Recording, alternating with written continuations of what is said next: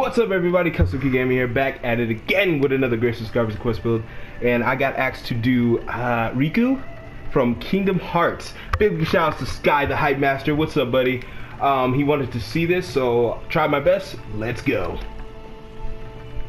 Now, um, again, his hair, I don't know, because when I read the fandom thing, his hair said that it was silver.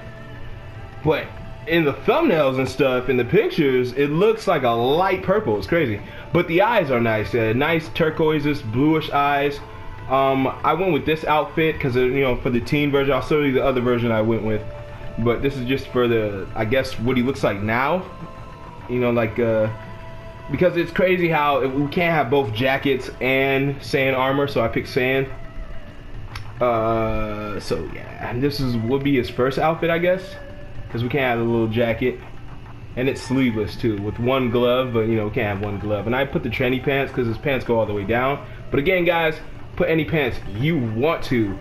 Alright, um, for the first outfit, the one I seen initially when I, you know, got to him, this is what I had.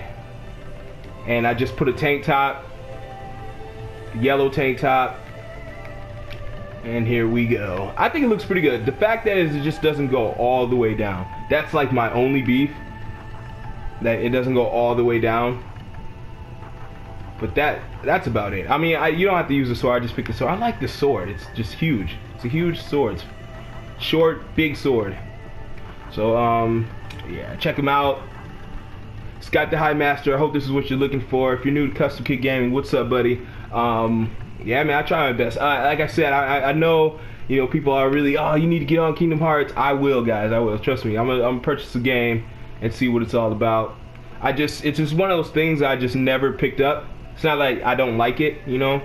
It's just one of those things I never picked up.